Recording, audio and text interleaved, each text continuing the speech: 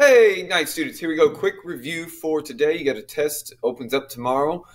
You got a full day to take it. Relax. Here we go. All right, this test, actually, before we get to the test, you have a couple assignments that are standing out there. One, you've got a vocabulary for this unit that you could look at. You have a telescope assignment about the difference between the Hubble and the James Webb. And you have the big, long, huge test size project, the moon observation. You need to go out, remember, every two or three nights and take a picture of the moon and do that for a full month. Well, if it's going to take you a full month to just gather the pictures, don't wait. Go ahead and get started. We're almost to a new moon.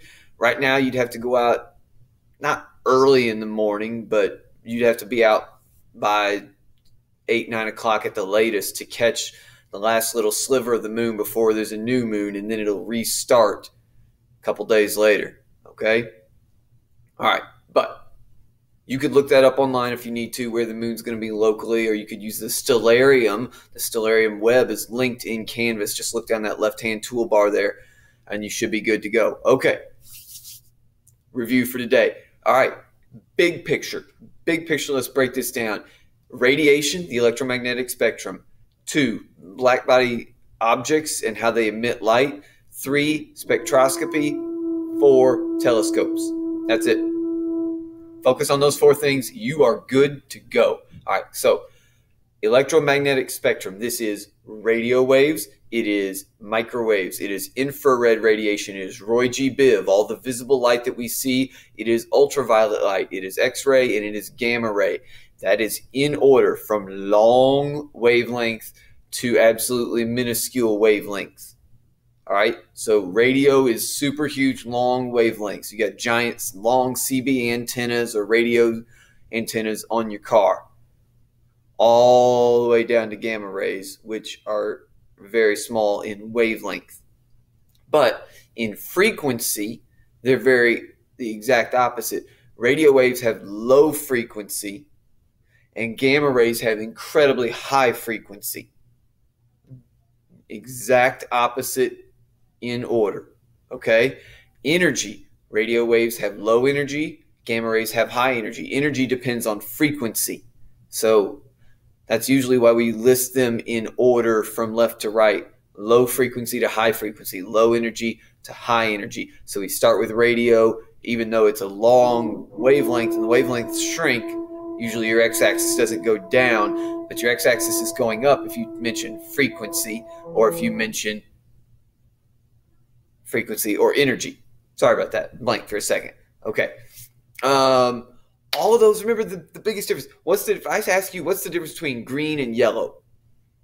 Like from a physics or a, a science perspective, not an art perspective. The difference between green and yellow is wavelength, is frequency. Color, it's the same stuff, right? It's not made of a material, it's a wave. It's an electromagnetic wave a photon coming at you, traveling, striking, reflecting. It's a wave of energy. And we, the, the difference between green and yellow, we don't feel it, we don't see we it's just the same stuff. But the difference between X-rays and ultraviolet radiation, they're just two different colors. The difference between AM and FM radio is a different color. It's a different frequency, it's a different wavelength. All of this stuff is light. All of it. It's just colors that our eyes don't see. Radio is a color you can't see. Microwave is a color you can't see. It's green. Maybe some other alien out there can see it, and you know, I don't know. All right. It's the exact same stuff. It's just a different color. Our eyes can only see Roy G. Biv. Okay. Moving on. Keep this short. Black body radiation. You take a solid object and you get it crazy hot. It starts to glow red. Okay. Think of melting metal, right? You're heating up the, the burner on your stove. It's going to glow. And as you barely heat up, it's going to go from a dull red all the way up through an orange into a yellow into a super bright hot. Okay? That's black body radiation. does not depend on what it is, it depends on temperature.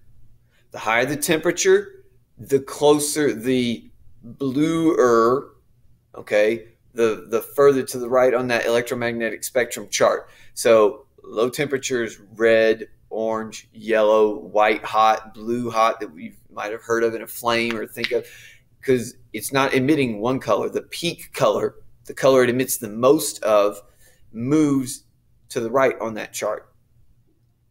And also, not only just the color changes, but the amount of light that is emitted increases. So temperature will you will increase the total amount of light emitted, but you will also increase the the peak frequency that's emitted from a black body object. Okay, look into that. Spectroscopy, one of the most important tools in astronomy. Actually, it's an important tool even here on Earth to learn what things are made of. But with spectroscopy, you can learn what a star is made of. Our sun, we're never going to touch. Where you can't go up and take a scoop out of it and you know bring the sample back and bring it to a lab and look in it. Not going to happen. But we can learn what's in the star through spectroscopy or a gas cloud out in space or this distant thing. We can learn all of that through spectroscopy. So spectroscopy there are three types of spectra that are emitted. There are continuous spectra, emission spectra, and absorption spectra. You need to know the difference in the three.